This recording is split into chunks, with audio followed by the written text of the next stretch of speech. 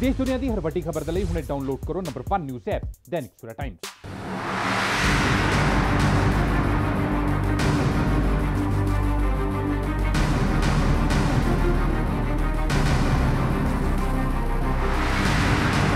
ਛੇ ਜਨਵਰੀ ਯਾਨੀ ਕੱਲ ਨੂੰ ਕਿਸਾਨਾਂ ਵੱਲੋਂ ਚੱਕਾ ਜਾਮ ਕਰਨ ਦਾ ਪੂਰੇ ਦੇਸ਼ ਦੇ ਵਿੱਚ ਇੱਕ ਐਲਾਨ ਕੀਤਾ ਗਿਆ ਹੈ, ਜਿਸ ਦਾ ਅੱਜ ਪਲਾਨ ਕੀਤਾ ਜਾ ਰਿਹਾ ਹੈ ਕਿ ਕਿਹੜੇ-ਕਿਹੜੇ ਰਸਤੇ ਔਰ ਕਿਹੜੇ-ਕਿਹੜੇ ਤਰੀਕੇ ਦੇ ਨਾਲ ਕਿਸ ਤਰ੍ਹਾਂ ਚੱਕਾ ਜਾਮ ਕੀਤਾ ਜਾਏਗਾ।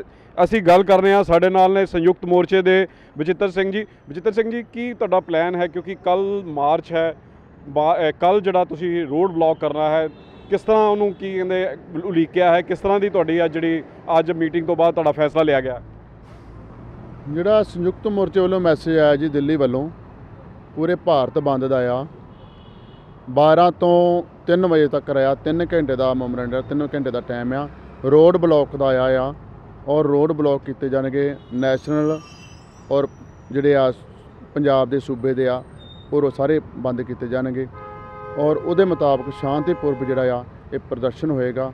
ਔਰ ਪੂਰੀ ਜਨਤਾ ਨੂੰ ਅਸੀਂ ਤੁਹਾਡੇ ਮਾਧਿਅਮ ਰਾਹੀਂ ਫੇਰ ਅਪੀਲ ਕਰਦੇ ਹਾਂ ਕਿ ਸ਼ਾਂਤੀਪੂਰਵ ਹੀ ਇਹਨੂੰ ਰੱਖਿਆ ਜਾਵੇ। ਬਿਲਕੁਲ ਸ਼ਾਂਤਮਈ ਢੰਗ ਦੇ ਨਾਲ ਇਹਨੂੰ ਚਲਾਇਆ ਜਾਵੇ। ਦੇਖੋ, ਜਿਸ ਤਰ੍ਹਾਂ ਕਿ ਇਹ ਇਹ ਜਾਣਨਾ ਬਹੁਤ ਜ਼ਰੂਰੀ ਹੈ। ਤੁਸੀਂ ਰੋਡ ਬਲੌਕ ਦੀ ਗੱਲ ਕਰ ਰਹੇ ਹੋ, ਤੁਸੀਂ ਗੱਲ ਕਰ ਰਹੇ ਹੋ ਕਿ ਹਾਈਵੇ ਜਾਮ ਕੀਤੇ ਜਾਣਗੇ। ਕਿਆ ਦੂਜੇ ਜਿਵੇਂ ਸ਼ਹਿਰ ਦੇ ਵਿੱਚ ਸੜਕਾਂ ਨੇ, ਪਿੰਡਾਂ ਦੇ ਵਿੱਚ ਸੜਕਾਂ ਨੇ, ਉਹ ਖੁੱਲੀਆਂ ਰਹਿਣਗੀਆਂ, ਉੱਥੇ ਲੋਕ ਆ- ਉਹਨਾਂ ਦੀ ਆਵਾਜਾਈ ਰਹੇਗੀ?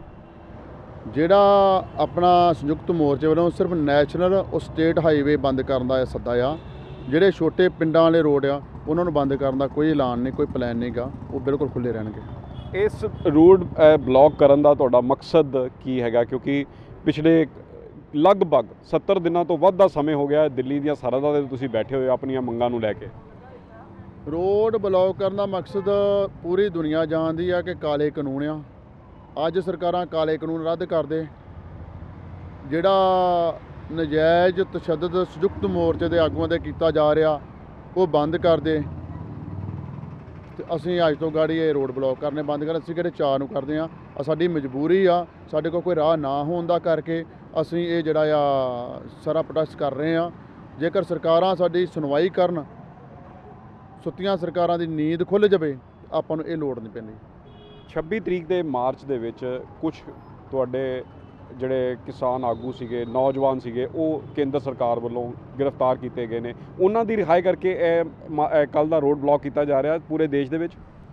ਕੁਝ ਸ਼ਰਾਰਤੀ ਅਨਸਰਾਂ ਕਰਕੇ ਜਿਹੜਾ 26 ਤਰੀਕ ਨੂੰ ਸਾਰਾ ਨੁਕਸਾਨ ਕੀਤਾ ਗਿਆ ਔਰ ਕੁਝ ਨਜਾਇਜ਼ ਜਿਹੜੇ ਲੜਕੇ ਫੜੇ ਗਏ ਆ, ਨੌਜਵਾਨ ਫੜੇ ਗਏ ਆ ਉਹਨਾਂ ਦਾ ਕਰਕੇ ਸੰਯੁਕਤ ਮੋਰਚੇ ਨੇ ਵੀ ਕਾਲ ਕੀਤੀ ਹੈ ਕਿ ਉਹਨਾਂ ਨੂੰ ਪਹਿਲ ਦੇ ਆਧਾਰ ਤੇ ਛੱਡਿਆ ਜਾਵੇ, ਕਿਉਂਕਿ ਉਹ ਨਜਾਇਜ਼ ਸੀਗੇ, ਜਿਹੜੇ ਸ਼ਰਾਰਤੀ ਅਨਸਰ ਆ, ਉਹਨਾਂ ਦੀਆਂ ਵੀਡੀਓ ਆ ਚੁੱਕੀਆਂ ਨੇ, ਉਹਨਾਂ ਦਾ ਸਾਰਾ ਕੁਝ ਆ ਚੁੱਕਿਆ, ਪੁਲਿਸ ਦੀਆਂ ਵਰਦੀਆਂ ਪਾਪਾ ਸ਼ਰਾਰਤਾਂ ਕੀਤੀਆਂ, ਕਈ ਕੁਝ ਕੀਤਾ ਔਰ ਜਿੰਨੇ ਵੀ ਨੌਜਵਾਨ ਉੱਥੇ ਫੜੇ ਆ, ਉਹ ਤੇ ਇਸ, ਮਤਲਬ, ਸ਼ਰਾਰਤ ਵਿੱਚ ਸ਼ਾਮਲ ਨਹੀਂ ਆ। ਗਏ ਜ਼ਰੂਰ ਹੋਣਗੇ ਜਦੋਂ ਲੋਕੀ ਚਲੇ ਗਏ ਲੋਕਾਂ ਦੇ ਮਗਰ ਚਲੇ ਗਿਆ ਔਰ ਉਹਨਾਂ ਨੂੰ ਛੱਡਣ ਵਾਸਤੇ ਵੀ ਇਹ ਮੇਨ ਪਹਿਲੂ ਰੱਖਿਆ ਗਿਆ। ਤੁਹਾਡਾ ਮਾਰਚ ਜਿਹੜਾ ਅੰਮ੍ਰਿਤਸਰ ਦੇ ਵਿੱਚ ਹੈ, ਰੋਡ ਜਿਹੜਾ ਤੁਸੀਂ ਬਲੌਕ ਕਰਨਾ ਹੈ, ਕੀ ਪਲਾਨ ਕੀਤਾ ਹੈ? ਕਿਹੜੇ ਕਿਹੜੀ ਰੋਡ ਤੁਸੀਂ, ਕਿੱਥੇ ਕਿੱਥੇ ਤੁਸੀਂ ਬੈਠਣਾ ਹੈ? ਕਿਸ ਤਰ੍ਹਾਂ ਕਰੋਗੇ? ਉਹਦੀ ਜਾਣਕਾਰੀ ਜਿਹੜੀ ਜਨਤਾ ਤੱਕ ਪਹੁੰਚਾਣ ਪਹੁੰਚ ਜਾਵੇ, ਉਹ ਤੁਸੀਂ ਦਿਓ ਸਾਡੇ ਜਿਵੇਂ ਅਸੀਂ ਭਿੱਖੀ ਪਿੰਡ ਵਿੱਚ ਰੱਖਿਆ, ਨਸ਼ਹਿਰੇ ਪੰਨੂਆ ਰੱਖਿਆ, ਇਸੇ ਤਰ੍ਹਾਂ ਹੀ ਫਗਵਾੜੇ 'ਚ ਰੱਖਿਆ, ਔਰ ਅੰਮ੍ਰਿਤਸਰ ਵਿੱਚ ਵੀ ਰੱਖਿਆ। ਸਾਡੇ ਪੰਜ ਜਗ੍ਹਾ ਤੇ ਆ। ਬਚਿੱਤਰ ਜੀ, ਲੋਕਾਂ ਨੂੰ, ਲੋਕ ਤੁਹਾਡਾ ਸਾਥ ਦੇਣ, ਲੋਕਾਂ ਦੇ ਨਾਲ ਤੁਸੀਂ ਕੀ ਅਪੀਲ ਕਰੋਗੇ ਲੋਕਾਂ ਨੂੰ? ਸ਼ਾਂਤੀਪੂਰਵ ਬਿਲਕੁਲ ਸ਼ਾਂਤੀਪੂਰਵ ਸ਼ਾਂਤੀ ਬਣਾ ਕੇ ਰੱਖਣੀ ਆ।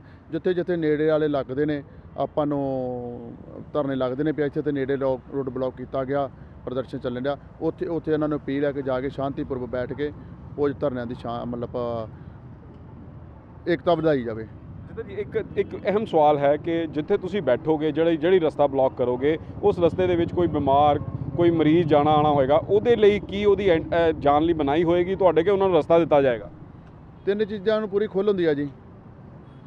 ਪਹਿਲੀ ਖੁੱਲ੍ਹ ਹੈਗੀ ਐਂਬੂਲੈਂਸ, ਦੂਜੀ ਗੁਰੂ ਗ੍ਰੰਥ ਸਾਹਿਬ ਜੀ, ਔਰ ਤੀਜੀ ਬਰਾਤ।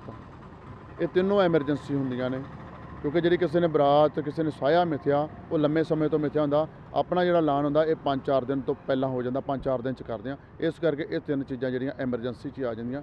ਇਹਨਾਂ ਨੂੰ ਬਿਲਕੁਲ ਖੁੱਲਿਆ ਇਹਨਾਂ ਨੂੰ ਅਸੀਂ ਰਸਤਾ ਛੱਡ ਕੇ ਫਿਰ ਰੋਡ ਬਲੌਕ ਕਰਦੇ ਹਾਂ ਸ਼ੁਕਰੀਆ ਸੋ ਇਹ ਸਨ ਕਿਸਾਨ ਆਗੂ ਬਜ- ਬਚਿੱਤਰ ਸਿੰਘ ਜਿਨ੍ਹਾਂ ਨੇ ਅੱਜ ਪ੍ਰੈਸ ਕਾਨਫਰੰਸ ਦੇ ਦੌਰਾਨ ਇੱਕ ਅ, ਪਲਾਨ ਬਣਾਇਆ ਹੈ ਕਿ ਕੱਲ ਦਾ ਜਿਹੜਾ ਸੰਯੁਕਤ ਮੋਰਚੇ ਦੇ ਵੱਲੋਂ ਐਲਾਨ ਹੈ ਪੂਰੇ ਭਾਰਤ ਦੇ ਵਿੱਚ ਚੱਕਾ ਜਾਮ ਕੀਤਾ ਜਾਏਗਾ। ਉਹ 12 ਵਜੇ ਤੋਂ ਲੈ ਕੇ 3 ਵਜੇ ਤੱਕਨ ਤੋਂ ਇਹਨਾਂ ਵੱਲੋਂ ਰੋਡ ਬਲੌਕ ਕੀਤੀ ਜਾਏਗੀ। ਕਿਸੇ ਨੂੰ ਰੋਕਿਆ ਜਾਏਗਾ, ਕਿਸ ਨੂੰ ਸਿਰਫ ਐਮਰਜੈਂਸੀ ਸੇਵਾਵਾਂ ਜਿਹੜੀਆਂ ਨੇ, ਉਹਨਾਂ ਨੂੰ ਜਾਣ ਦੀ ਆਗਿਆ ਹੋਏਗੀ। ਪਰ ਜਿਹੜਾ ਰੋਡ ਹੈ, ਬਲੌਕ ਕੀਤਾ ਜਾਏਗਾ। 3 ਘੰਟੇ ਜਨਤਾ ਨੂੰ ਵੀ ਅਪੀਲ ਕੀਤੀ ਹੈ ਕਿ ਉਹਨਾਂ ਦੇ ਨਾਲ ਉਹਨਾਂ ਦਾ ਸਾਥ ਦੇਣ, ਕਿਉਂਕਿ 3 ਘੰਟੇ ਲਈ ਆਪਣੇ ਸੰਘਰਸ਼ ਲਈ ਹੈ ਰਸਤਾ ਬਲੌਕ ਕੀਤਾ ਜਾਇਆ ਔਰ ਲੋਕ ਵੀ ਇਹਨਾਂ ਦਾ ਸਾਥ ਦੇਣ, ਇਹ ਇਹਨਾਂ ਨੇ ਵੱਲੋਂ ਕਿਸਾਨ ਆਗੂ ਵੱਲੋਂ ਅਪੀਲ ਕੀਤੀ ਗਈ ਹੈ।